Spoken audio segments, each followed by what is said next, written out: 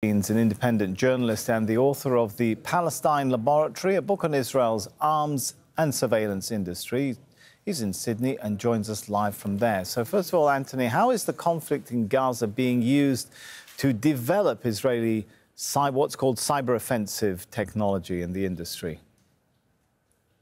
What's been happening in the last two months, in some ways, really continues what Israel's been doing for years, which is Gaza is a key testing ground, as you said, for new weapons, sometimes deadly, sometimes also just surveillance. So, what we've seen in the last two months is really a huge amounts of new technology, new particular drones, quadcopters, so to speak, which kind of have been firing apparently weapons uh, into Palestinian areas, including civilian areas, and AI driven warfare. Now, there's been a lot of talk and hype around AI warfare. Israel started doing this in 2014. They did it again in 2021 in other rounds of their conflicts with Hamas. And this year it's really accelerated to the point where both people I'm speaking to, and there was an amazing report in the Israeli outlet 972 a few weeks ago, which outlined the fact that really any serious rules of engagement about worrying about civilian casualties has essentially been removed.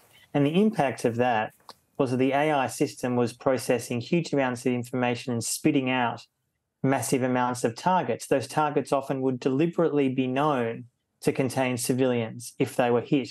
And we've seen the rate of civilian casualties is really unprecedented in the modern age. And what Israel's doing by using this technology is obviously in its war against Hamas, it's being used to try to impress Israeli audiences and also internationals to try to get support for Israel's brutal war in Gaza, but it's also for foreign buyers.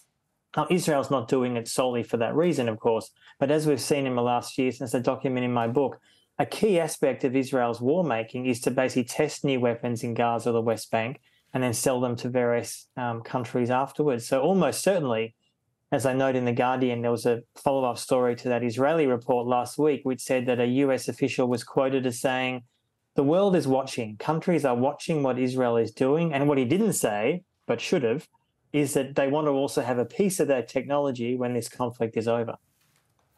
Antony, are we seeing the Israeli cyber industry pivoting more and developing more towards AI and data analysis after the scandals involving hacking firms and spy software such as Pegasus?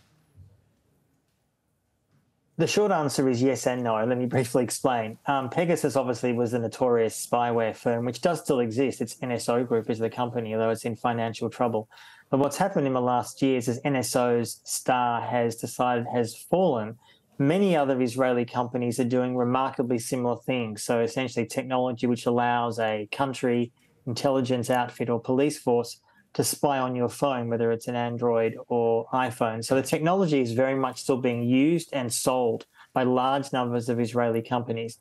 But there's no doubt there was a recent um, Europe's largest national security fair in Paris a few weeks ago, and Israel had a lot of companies there, even though there's, of course, a war going on in Gaza. And a lot of those companies were selling not particularly offensive cyber, such as Pegasus, but surveillance technology to be able to monitor various amounts of people's phones, social media, and interestingly, a company called Toka, T O K A, which is essentially a company that allows a buyer to change video feeds. So you can imagine a institution or government has a video feed of some particular incident.